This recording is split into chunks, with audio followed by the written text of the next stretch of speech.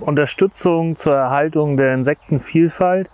Ähm, das ganze Projekt oder dieses ganze äh, Patenschaftsgefüge äh, ist entstanden durch einen Beitrag äh, in, einer, in einer Fachzeitschrift, wo ein bayerischer Landwirt quasi ähm, gesagt hat, okay, das, das Volk hat ein Volksbegehren unterschrieben zum Erhalt der Artenvielfalt.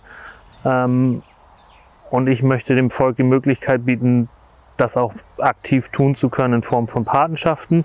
Die Fläche an sich ist äh, 2,2 Hektar groß. Das sind ungefähr vier Fußballstadien. Momentan ist noch nicht viel los, äh, weil halt noch nichts blüht. Ähm, wir haben nachher, wenn, wenn äh, Facelia blüht und alles so ein bisschen in Gange kommt, äh, finden wir halt von Hummel über Biene, über Wespe, äh, über Mücken, Fliegen, alles Mögliche. Es ist jetzt äh, gut ein Jahr her, also anderthalb Jahre, als Hendrik äh, mich ansprach, was ich denn davon hielte, äh, eine Blumenwiese anzupflanzen. War im Prinzip äh, sofort gern dabei und ich sowieso im Prinzip für na, gute Lebensmittel, für nachhaltige ähm, Produkte, für ähm, ja gut, Beispiel wäre ähm, unser Edeka-Markt äh, bekommt auch Ökostrom und ich bin im Prinzip auch, ähm, ich lebe das auch. Es ist also nicht nur Marketing äh, das Ganze, sondern ähm, das lebe ich schon und naja, so kam das dann und wir haben das halt über unsere Werbung, über unseren Handzettel und über äh, die Möglichkeiten im Markt, Plakate zu, zu hängen. Und Hendrik war dann auch mit dem Trecker selbst da und hat die Leute dann angesprochen. Wir haben das Ganze so ein bisschen ins, ins Rollen gebracht letztes Jahr und mit großem Erfolg. Selbst bin ich natürlich auch Pate oder Pächter oder bin da natürlich mit von der Partie und ähm, finde, das ist eine, eine ganz wichtige Sache und auch eine für, für, niemanden irgendwie, ich habe keine Arbeit damit, also ich brauche die, die Blumen nicht pflanzen, ich kann mich kann hinfahren, kann mich daran erfreuen und vor allen Dingen man tut wirklich äh, was ganz Wichtiges ähm, für, für die Bienen und für die Insekten. Ne?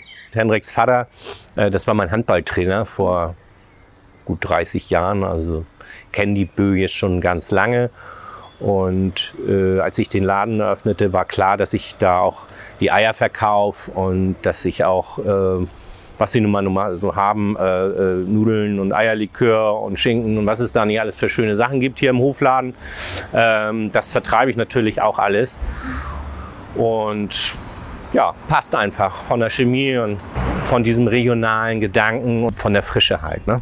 Wir haben im vergangenen Jahr damit angefangen, haben dann auch gut die Hälfte der Patenschaften im ersten Jahr direkt verkauft gekriegt.